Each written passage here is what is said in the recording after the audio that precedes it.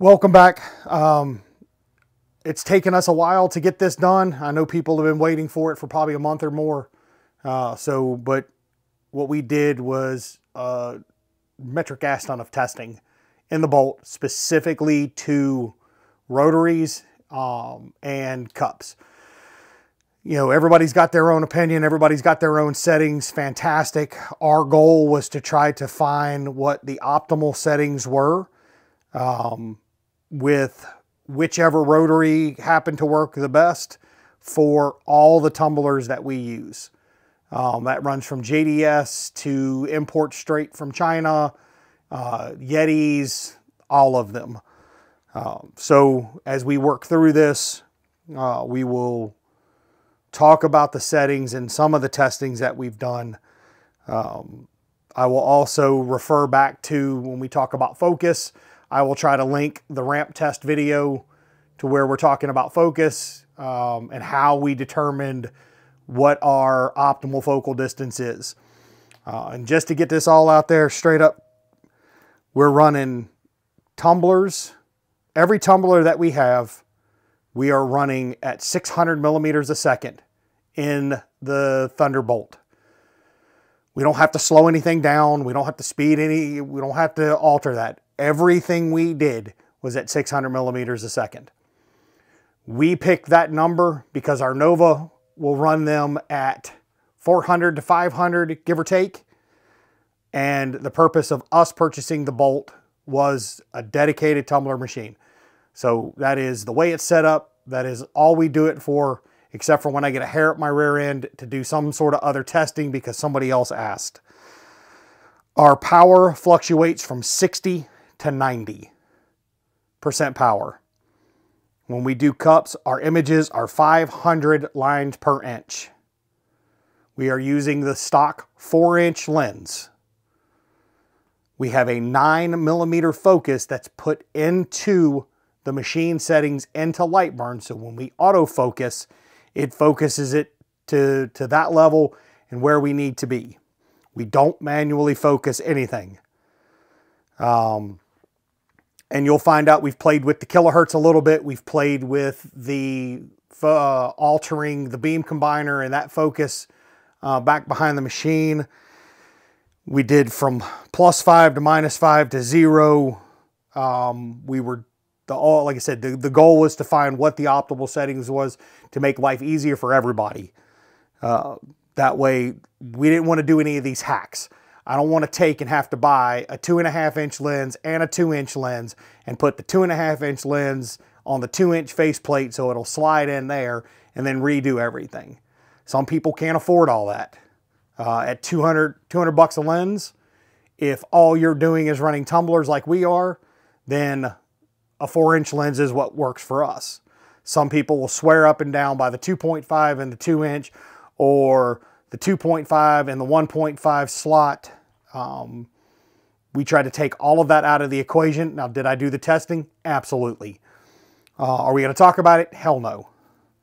So this is all based on the 4-inch lens. Yes, the only time we had to get the autofocus out of the way was doing the 40-ounce tumblers where we had to do a full wrap.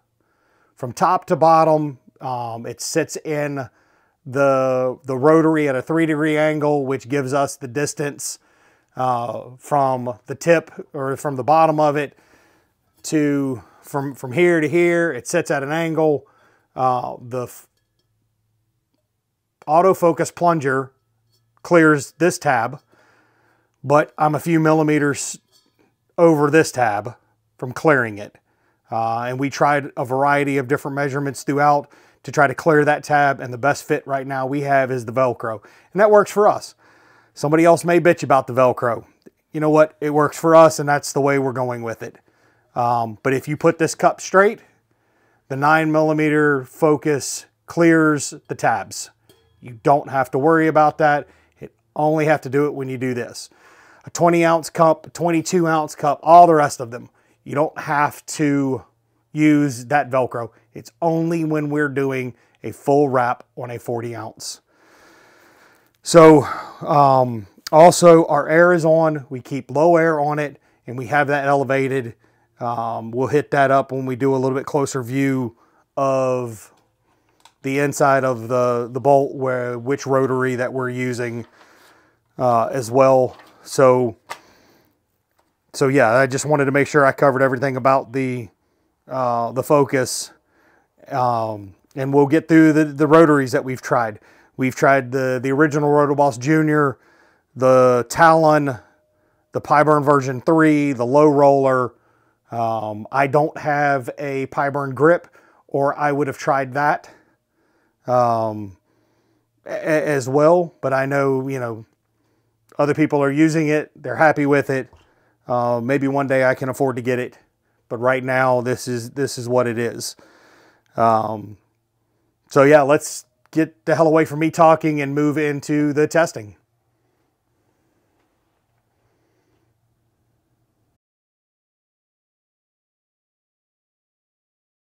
Okay, just got it in the mail. Literally got the damn email, ran to the front porch. Um, so we might as well show what it looks like as we're unboxing it. Hopefully Robert did a good job. Um, this is the uh, tray for the bolt. The RoKo twister tray, I think is what he calls it. God help me, I gave the boss a sharp object.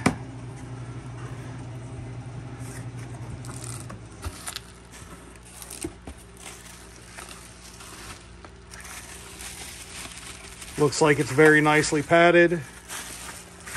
Showed up in one piece. Damn, he's even got printed instructions. Good job, Robert. I guess we'll have to take a look at that. With color pictures. Very nice. Very nice.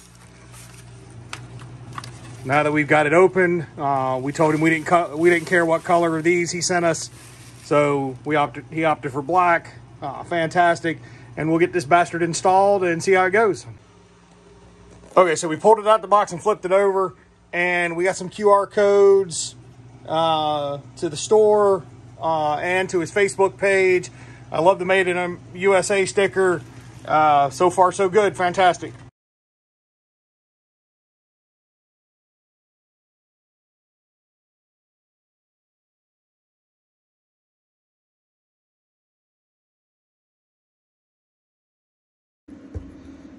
Okay, first cup coming out of the bolt, and we're gonna listen to the boss.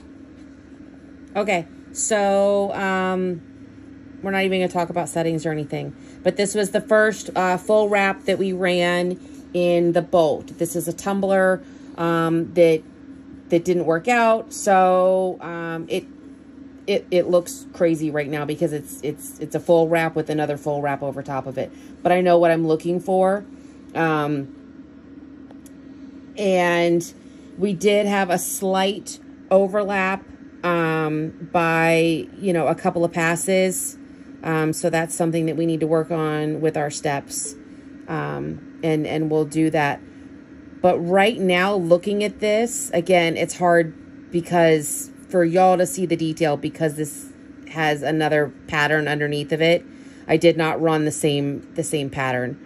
Uh, but there's places where I ran this file on a similar tumbler in my 3580 and where I can't read some of the, the words um, and uh, where, where things are just a little fuzzy.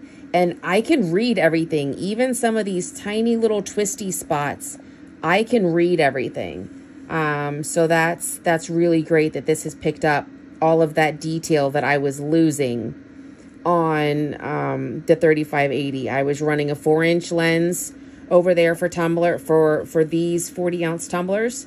Uh, we are running the four inch lens on the bolt um, as well. And I am super, super happy with with how this has turned out. Um, I am I'm pretty tickled. I cut my speed by 15 minutes or more or more um, from the, the the settings I was using on my 3580 to what I just used on the bolt. So that was one of the whole purposes of getting the bolt was for tumblers and for me personally because of the type of machine it is I knew I needed to be able to do do do them faster with as good if not better quality. So I'm super super happy right now.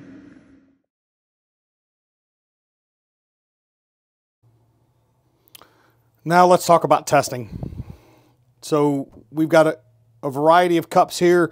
This one has been one of the biggest pains that, that we've come across is the white that's the rainbow or iridescent plated. So uh, talking with uh, Thunder Laser USA and their tech support, we got a few uh, thoughts on what to do to try it and I will walk you through what we did, not how we did it, but what we did, because certain things that we did you probably shouldn't do. So, again, it's the same settings for everything. We're running 600 millimeters a second. Uh, I got 500 lines per inch. We're at the 9 millimeter in height, but I've adjusted and marked on this cup um, I made my own test and did everything. And then, see if I can blow this up for you. And then we did 40, 50, 60, 70, 80, and then up to 90% power uh, with those settings. People have been talking about um, adjusting the beam combiner, uh, the thing, the little black knob on the tube itself. Uh, so we played around with that to see what we, we got, and we went far high, far low, and kept it in the middle. So this is zero at 40, 50, 60, 70, 80, and then 90. And 90, we got we got pretty good. So at the plus five is right here. And then 90 and then the minus 5. So looking at all of this, the minus and the plus, it didn't really give us the what we were looking for. Um, at zero, just like the manufacturer said it, at 90% power, we got through it. I barely had to scrub it, which is exactly what you know we all want when it comes to these damn tumblers.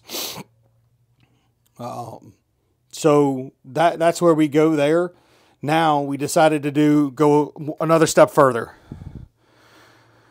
We wanted to start testing uh, distances to see if we could get higher than the nine millimeters. Um, there's the nine millimeter, and there's the 10, 11, 12. So um, we we really didn't come up with a lot uh, of positive things other than 9 mil for us is exactly what it needs to be. One step further after that, we kept everything the same, did the same power test here, um, 40, 50, 60, 70, 80, and the 90, but we changed the kilohertz.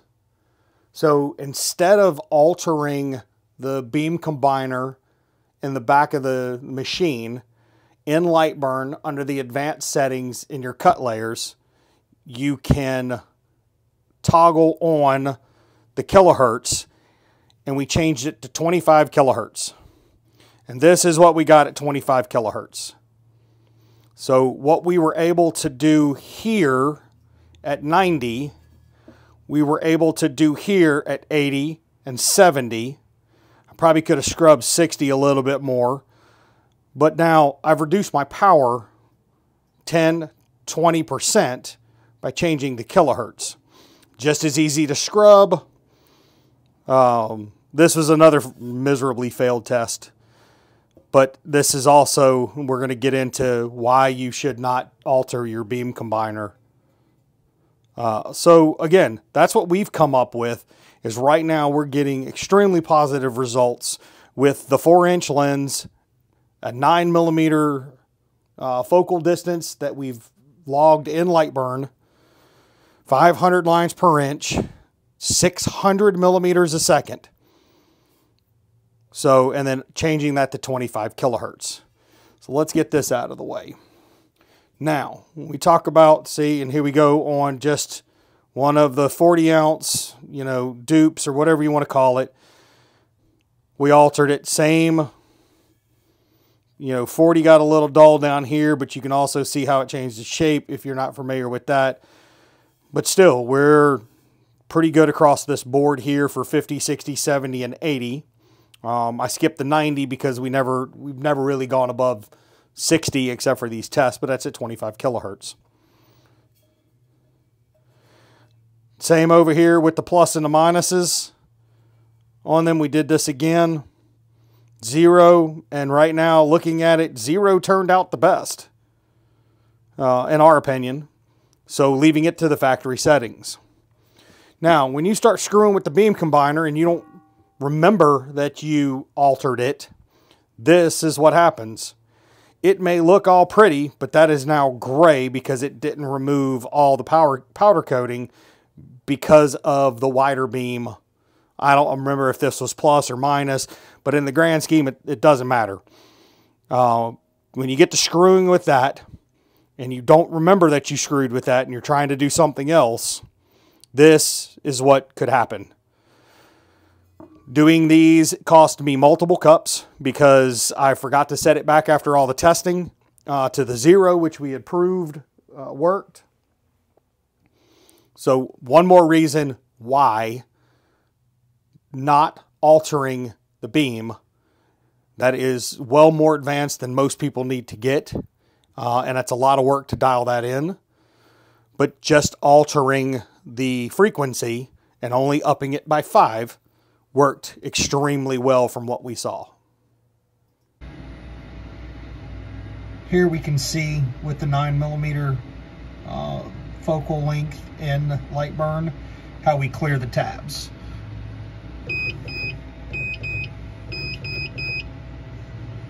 Now this cup is flat, not uh, crooked. Uh, when you put it in at a three degree angle, um, that tab right there is the only one that does not clear. When we talk about Velcroing uh, the focal block, we just throw this piece of Velcro here and it Velcros up above. But you see what happens to it when you get it in the wrong damn spot. You have a tendency to burn through it. So that's what we talk about with Velcroing the autofocus. Now, here's your safety for that. When you're done using it, take the Velcro off. That way the spring can go back to what it uh, what it likes to or normally wants to be. And then the machine works better so you can autofocus. And all I got to do is remove it.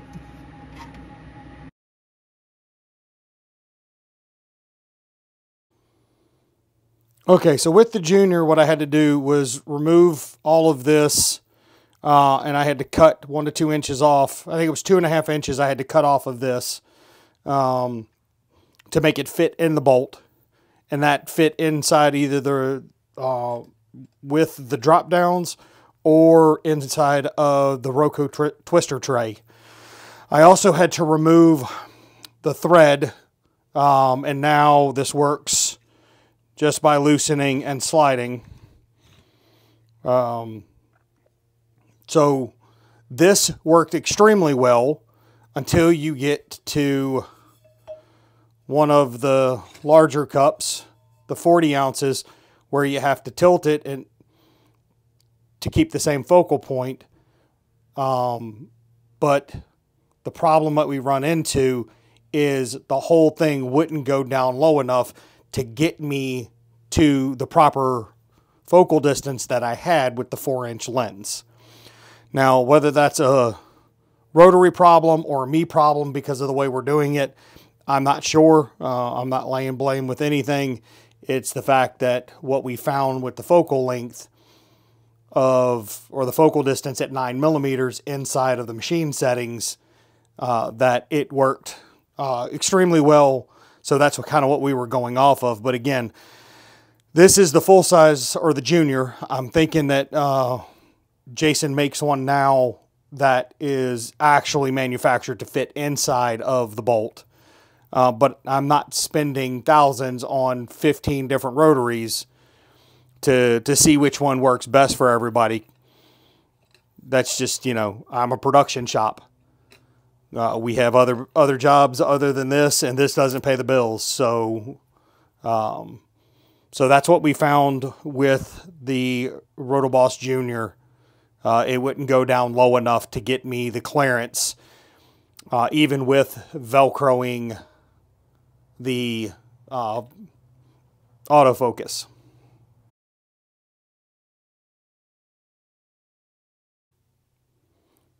So here we have the Talon, uh, one of the test cups that we used. Uh, this is one of the uh, issues that we were running into is, yes, I can push down and I can turn it and lock it into place, but there are times where it wants to pull away. No matter how tight I get it, there are times that it wants to pull away. And I think one of the issues that we were having was these and the, these internal threads. It doesn't really want to clamp. And yes, true, I can open this up.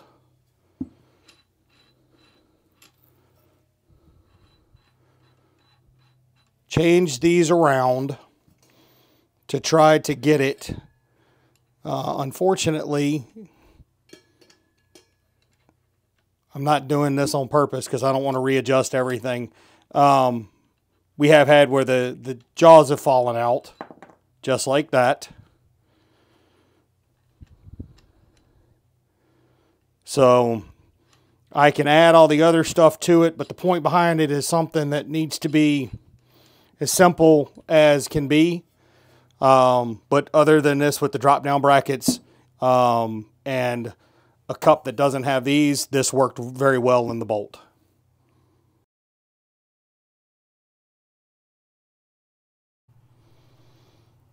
So we also did the, we also have the PiBurn version 3. Uh, I did have to cut three inches or more off of it to make it fit. Uh, I know that uh, Lens Digital sells one that fits in here, but again, I'm not buying another rotary. I had this one so we retrofit it. And so far with this one, it fits flat on Robert's RoKo twister tray, uh, which is a fantastic addition to this. Uh, I have, and this is already set. We've been running tests on 40 ounces. I still have some clearance. I can get up underneath of it to go down lower if I need to.